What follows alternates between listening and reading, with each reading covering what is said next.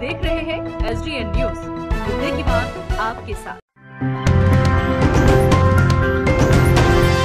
की मौत के लिए इंसाफ की गुहार लगाती बेटियाँ पहुँच गई पुलिस कप्तान के पास। इन बेटियों का आरोप है कि इनकी माँ की कोई साधारण मौत नहीं हुई है, बल्कि उनकी हत्या की गई है, और इनकी हत्या का आरोप अपने ही पिता पर लगा रही है।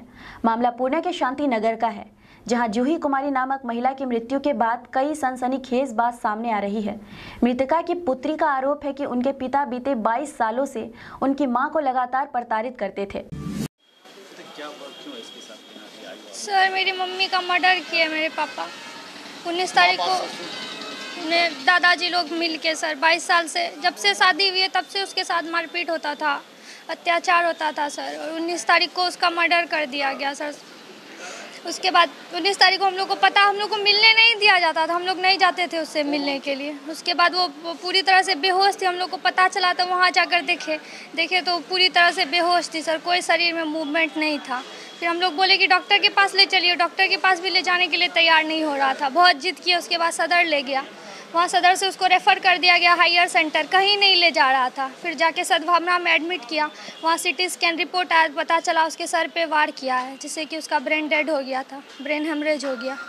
उसके बाद बोला, आप लोग इसको ले जाइए कहीं आगे सिल्लीगोड़ी वगैरह कहीं नहीं ले गया। ला के घर में ला के उसको छोड़ दिया, सर। उसके बाद फिर हम लोग एफआईआर करवाने के लिए गए, पुलिस कोई रिस्पांस नहीं ले रहा था।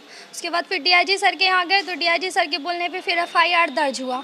तो फिर पुलिस वहाँ पे गई उसके घर पे तो फिर वो क्या किया, उसको ले जाके दोबारा सदर अस्पताल में ले जाके छोड़ दिया ऐसे ही। उसके बाद फिर, उसके बाद तेईस तारीख को मम्मी डेड कर गई। डेड बॉडी को लेके भागने के फिराक में था वो।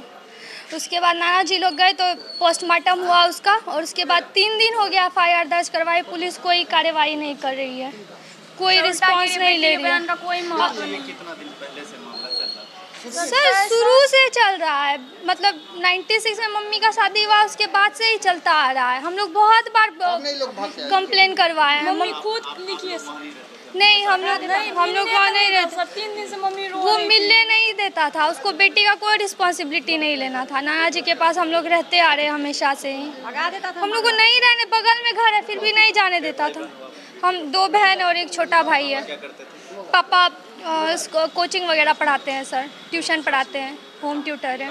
यहीं पे पूर्णिया में सुबोध कुमार झा। घर सर पूर्णिया में ही है।